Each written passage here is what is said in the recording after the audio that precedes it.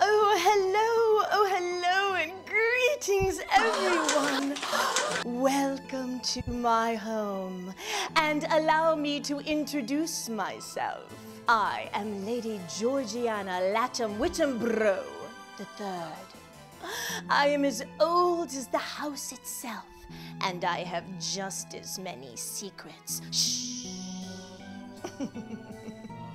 Each year, when the leaves fade from green to red, and the moon glows a glorious harvest red, I host a party for All Hallows Eve.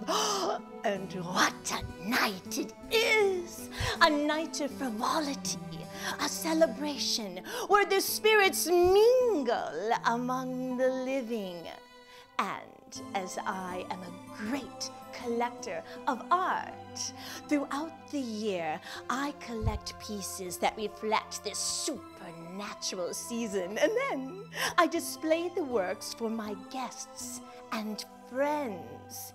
I also hold a contest to reward the best and most terrifying that reflect the fear and the awe that people have with the living and the dead.